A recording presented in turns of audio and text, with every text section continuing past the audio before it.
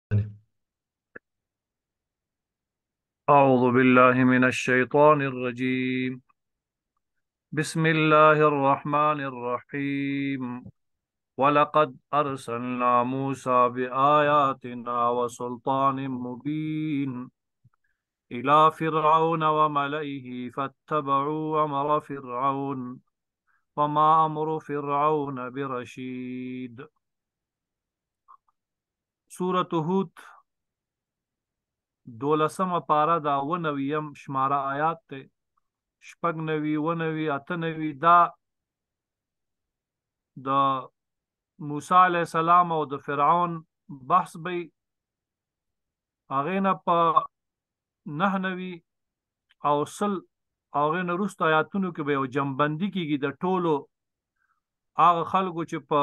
نافرمانه سره هلاک شوي دي لومړنۍ شپږ نویم آیات به د موسی او د فرعون مختصر بیان به کیږي په دې آیاتو کې ولقد ارسلنا په تحقیق سره مونږ لېږلی موسی موسی علیه السلام بیا آیاتنا الله پاک وایي مونږ ده لېږلی وو بعلامات نه آیات معنا دلته علامات وي معجزات ورکړي وي ورته مختلفې چې دلالت یې کوو په صحت د نبوت د موسی علیه السلام اجدهارو او دارنګې هغه لاس به چې راوویست تک سپین لکه سپوږمۍ به ځلېده وسلطان مبین او دلیل ورسره واضح و هغه دا چې د ټولو جادوګرانو جادوی ورته ختم کړه په معجزه باندې دا مې لګل ویلا فرعون فرعون ته د زمانه باچاو د مصر د لقب و ملئه او د د ډلې ته د د کابینه پارلمنت چې د دوی کوم مشران دا مې ورته ولېږه با مباحث وشول دوی سره دلایل وویل شول لیکن فتبعو دا قوم راپورته شو اتباع پیروي وکړله امر فرعون حکم د فرعون فرعون پسې ورغلل او د الله عبادت ترا نغلل وما امر فرعون او نشو هغه امر د فرعون برشید مرشد ال الخير نش هغه د فرعون اوامر او کړنې هغه د خیر سبب نشوي بلکې د شر سبب شوي چې دوی هلاک شول هغه دا و چې یقدم قومه دی به مخکې مخکې وي د قوم نه یوم القیامه د په ورځ د قیامت فاوردهم هغه به دا قوم وارد کی ور داخل به کی النار ورته فرعون مخ کی دا وزیرانو کابینه به ورپسی او دویمه معنا ور سره دا چې یقدم قومه دی به وړاندې کی خپل قوم په ورځ د قیامت اور ته فاوردهم النار جهنم ته به بوزي او جهنم چې ده وبئس ډیر بد ده الورد هغه ګودر هغه لار د داخلي دو المورود او خپل جهنم چې ور داخل کیږي ورود داخلي دو ته واردېدل یو ځای ته ور داخلېدل نو الله وی دا داخلي دل او د داخلي دل ځای دواړه ډیر خطرناک دا مزل چې ورته کې د سورات په پل باندې چې ورځي دام ډیر خطرناک دی چې لار د ګودر ورته وي پښتانه او هغه خپل جهنم خوم ډیر بد دی واتبعوا او دوی په سراغ لاله تابع شو په هذه په دې دنیا کې لعنتن لعنت هغه دا چې غرق شول دوی کنه په دریاب او یا دا چې دی باندې به لعنت وي له مؤمنانو طرف نه فرعون علیه لعنه او په آخرت کې به ور باندې ملائکه لعنت وای هم په دې دنیا کې و یوم القیامت هم په ورځ د قیامت بیسا ډیر بد د عرف دو دغه تحفه دا چې دا د لعنت تحفې دوی ته لیږل کیږي دا هم ډېر بد د المرفوض او هغه خلک هم ډېر بد دي چې په چا دا لعنت ویل کیږي دا د فرعون او د موسی علی السلام مختصر اجمال ذکر شو او نور ځکه تفصیل ذکر شوی دی بیا به راځي اوس الله پاک یو جنبندی کوي د ټولو ذالک دا قصې چې موږ درته وکړې من انباء القرى دا قصې او مهمه واقعي وي دا غ قريه جاتو د اهل د قريو نقصه عليك موږ تا ته بیان وک منها زین د دې قريو نه چې دي قائم وحسيد زین قري چې دي قائم دي او زین چې دي هغه حسيد شوی دي یعنی لو کړی شوی دي د قائم او د حسيد مانا دا چې ځينې قريې او آثار د دوی ليدل کېږي. ولاړ دي اوس هم شته دی او موږ د دې عکسونه هغه تصويرونه مو ښودل او ځينې حسيد دي حسيد لو شوي ته وایي لو کړی شوي دي لکه د لوط عليه السلام قوم قريه چې وه هغه په ځمکه غرقه شوه نشته او ځینې نه لیدل کیږي الله وایي دا تاسو ته دا عبرت دی ورځئ پې باندې وما ظلمناهم او مونږ دوی باندې ظلم نه وکړی ولیکن ظلمو لیکن ظلم کړی دوی انفسهم په خپل نفسونو دوی په ځان باندې ظلم وک فما اغنت دفع نشو کړی عنهم لدوینا الهتهم د دوی خدایانو د دوی معبودانو باطل وو او هیڅ هم دوی نه دفع نشو کړی التي هغه خدایانو معبودانو بوتان یدعون چې دوی به عبادت کو من دون الله د حقیقي رب نه غیر د بل چا من شی هیڅ شی ورته د هدف نه ک لما کله جامر ربک چراغ هغه مرد رب امر د رب چې راغی دوی دفاع ونه شو کړی عذاب د رب چې راغی وما زادوهم او دوی زیات نه که د خپل عابدانو ته غیر تطبیب غیر له تطبیب نه تطبیب دا درې مشهورې معناوې لري یو د تطبیب معنا د نقصان بل د تدبیب معنا د شر او بل د تدبیب معنا د هلاکت نو درې واړه پکې دي دوی ته هلاکت او تاوان او نقصان ورسو خو فائدې ورته ونه رسوله ځکه دا دا د تب بنا خستل شوی د تبت یدا بی لهبن تبا ده ابو لهب چې څنګه د اخر پاره کې راځي نو دا هلاکت او تاوان او نقصان ته ویل کی وکذالک اخذ ربک دا رنګ چې دا قومونه هلاک کړی دي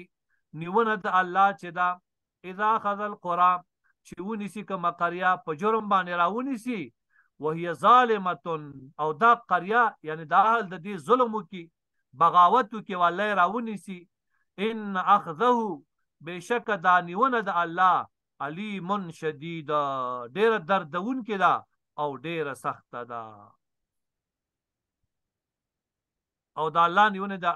دا ډیره خطرناک ان فی ذلک پدې کې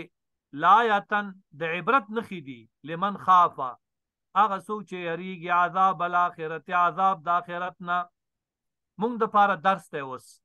که څوک د عذاب د آخرت نه یریږي په دې قصو کې هغوی د پاره لوی عبرت پروت دی خاص کر هغه وخت کې چې د دوی علاقې ته ورشي او د دوی دا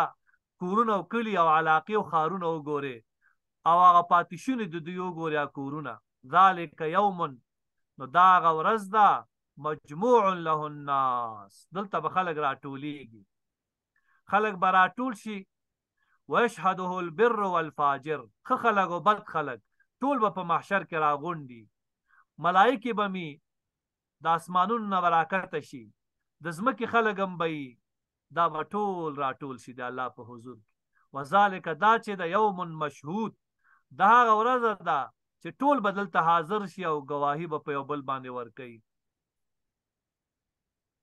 وما نؤخره او مونږ تاخير او وخت نه ورکو دي ظالمانو ته الا مگر لاجل معدود اغا یا وخت مقرر شوه اغا وخت براشي او ستا باچاهي بړنګ شي او بس تباب شي چې مرګ راشي او بس څه بانه شي کافلاتون د زماني ورک بشینا یوم دا هغه ورځ د یاد دی چې راضی به کنه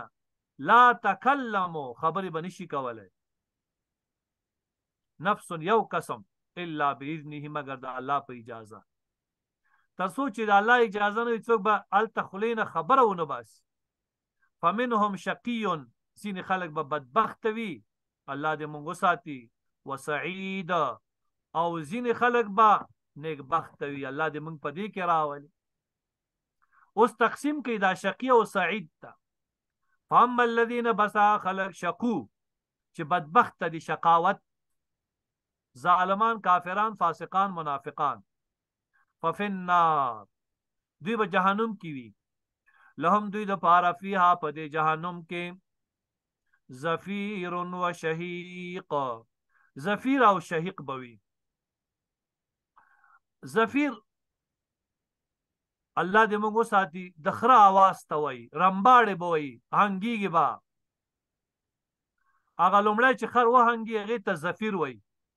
د خولې نه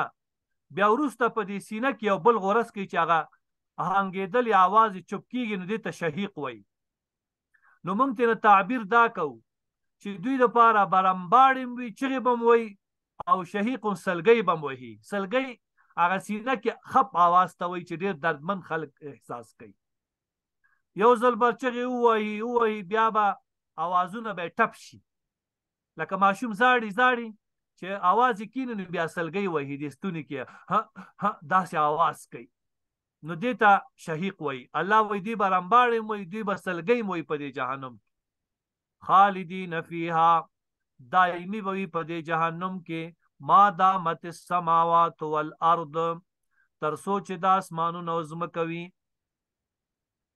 دا په عربو کې یوه اصطلاح وه یو چا به چا ته ویلي وای والله که در سره خبرې وکړم ته ځمکې او تر څو چې ځمکه او اسماني